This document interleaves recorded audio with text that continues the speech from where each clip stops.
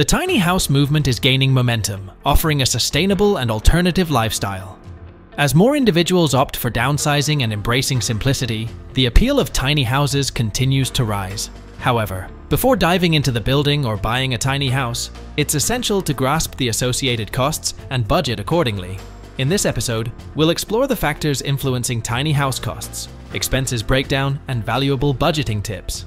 Don't forget to hit that subscribe button, smash the like, and let's delve right in.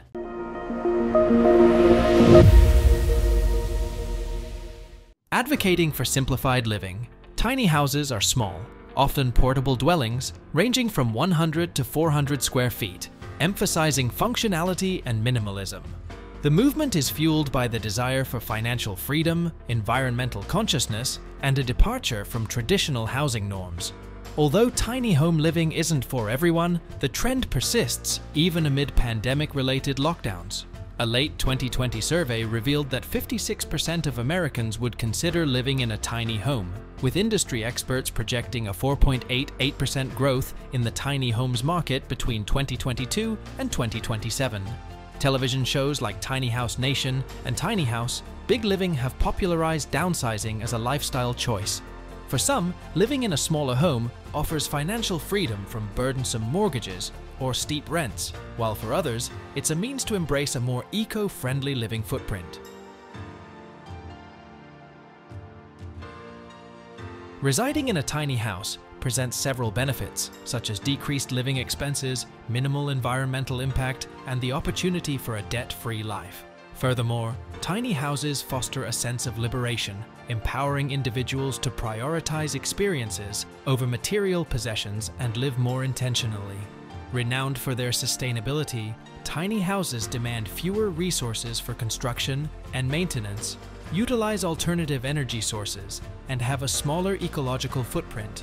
From a financial standpoint, their compact size results in reduced construction, maintenance, and utility costs, making tiny houses an appealing choice for those aiming for financial adaptability.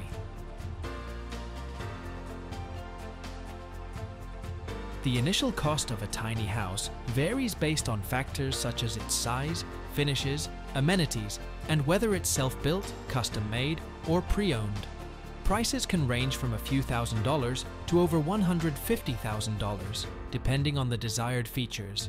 Generally, these homes measure between 26 to 30 feet in length, some even longer, and are designed to be mounted on trailer beds, functioning similarly to RVs. Tiny home builders offer comprehensive services, constructing tiny houses from scratch and furnishing them with appliances like air conditioning, induction cooktops, microwaves, and tankless water heaters. Although tiny houses are more affordable than traditional homes, obtaining a mortgage for one is not an option. Instead, you can explore alternative financing methods, such as recreational vehicle loans or travel trailer loans from credit unions, especially if your tiny house meets the criteria to be classified as an RV or travel trailer. Companies like Rock Solid Funding, based in Waco, Texas, specialize in assisting consumers in securing these loans, with terms ranging from 3 to 20 years and interest rates between 4.5% to 17.99%. Another option is a personal loan, although it typically carries a higher interest rate compared to a traditional mortgage. Charging the cost of your tiny house to one or more credit cards is also possible, but the interest payments can be expensive. It's important to note that, unlike mortgage interest, interest from credit cards or personal loans is not tax deductible. If you own a traditional home and plan to continue doing so, you could consider using a home equity loan or line of credit to finance your tiny house. While this option may offer tax-deductible interest, it puts your primary home up as collateral, which means you could face foreclosure if you're unable to make the loan payments. To qualify for financing for a tiny house, having excellent credit, a score of at least 670 or higher, is essential for an unsecured loan, while good credit, 580 or better, is required for a secured loan. The better your credit score, the lower your interest rate will likely be. Saving up and purchasing your tiny house with cash is the most cost-effective option. However, if financing is necessary, there are lenders like Lightstream that offer specialized personal loans for tiny homes.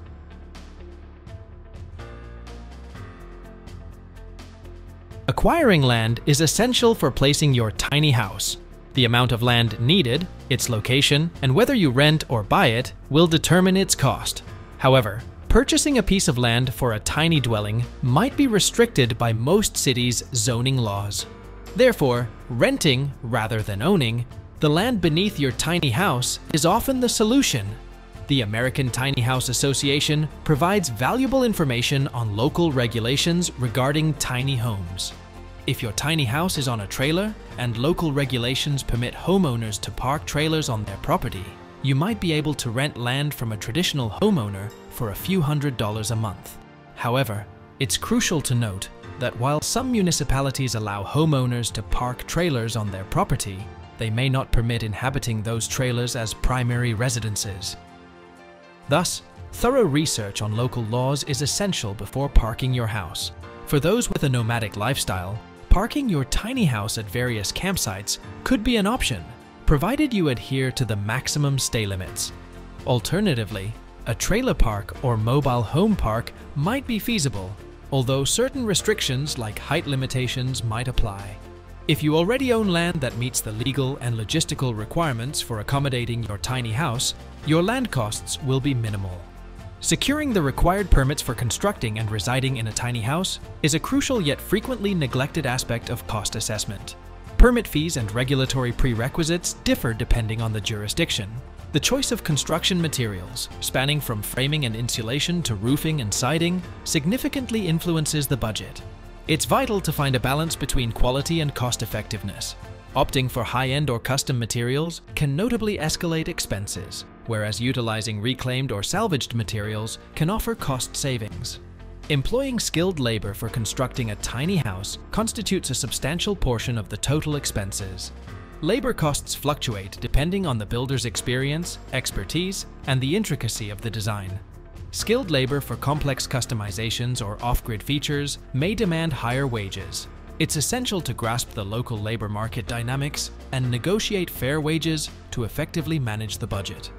Considering the expense of connecting to essential utilities like water, electricity, and sewage is crucial. Off-grid solutions, despite providing long-term savings, necessitate upfront investment for individuals opting to live off the grid, integrating sustainable systems such as solar panels, composting toilets, and rainwater harvesting entails additional expenses for the project. Equipping the interior of a tiny house with furniture, appliances, and fixtures accounts for a significant portion of the budget. Choosing space-saving and multifunctional furnishings can efficiently utilize the available space and budget. While personalized touches and custom features enhance the uniqueness of a tiny house, they may also increase the overall expenses. Embarking on a do-it-yourself, DIY tiny house project often provides a more budget-friendly option compared to purchasing a pre-built unit. However, the cost difference depends on various factors, including individual skills, available time, and access to resources. Tumbleweed Tiny Homes offers customizable plans for nine models designed to be on foundations. Additionally, Tumbleweed shares 3D tours on their website. Taking on the construction of a tiny house as a DIY project can result in significant cost savings. However, it also presents challenges such as time commitment, the need for specialized knowledge, and potential setbacks during the building process. Opting for a pre-built or custom-built tiny house provides the advantage of convenience and a faster move-in process. However, it typically comes with a higher price tag. Balancing the cost with the desired level of customization and personalization is crucial when considering this option. Alternatively, you could purchase a pre-owned tiny home by searching for listings online. One platform to find listings for existing tiny homes is tinyhouselistings.com, where approximately 563 tiny houses priced at $50,000 or less were listed around the United States as of June 8, 2023. Ongoing maintenance expenses, including repairs and replacements, should be factored into the long-term cost of owning a tiny house. Regular upkeep is essential to ensure the durability and functionality of the structure. Securing insurance for a tiny house is essential for protecting against potential damages, theft, or liability. The cost of insurance varies based on the value of the structure and its contents. For individuals opting to park their tiny houses in dedicated communities or on private properties, parking fees or lease agreements constitute an ongoing expense that should be considered. You won't have the enormous property tax bills that come with traditional homeownership. Still, if you live in a state with personal property taxes, you'll likely pay an annual personal property tax on your tiny house as an RV or trailer. You may be able to deduct the personal property tax on your federal tax return if you itemize your deductions. But without the massive expense of mortgage interest, you might not have enough deductions to come out ahead from itemizing and end up taking the standard deduction. Some tiny homeowners find themselves with fines for violating local housing and zoning laws and monthly storage space rental for excess personal belongings. Additionally, even though the house is smaller, it's no less essential to insure it.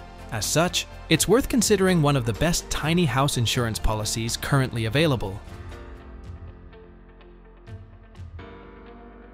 Incorporating reclaimed and salvaged materials into the construction of a tiny house not only reduces expenses, but also aligns with sustainable and eco-friendly principles.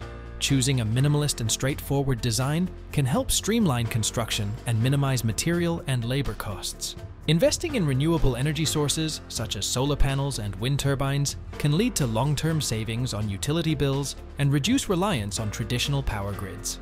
The cost of land varies significantly from region to region, with urban, suburban, and rural areas offering distinct price points and considerations. Navigating local building codes and regulations is crucial, as compliance requirements can influence construction methods and costs.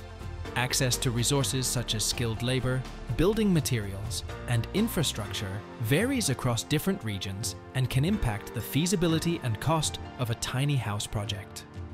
Creating a detailed budget that encompasses all aspects of the tiny house project is fundamental. It's essential to allocate funds for both expected and unforeseen expenses, implementing cost-saving measures such as using reclaimed materials, minimizing waste, and optimizing the use of resources can contribute to significant savings during the construction phase. There's much more to tiny house ownership than simply saving money. It's about embracing simple living, freedom, and environmental stewardship while aligning with your personal values.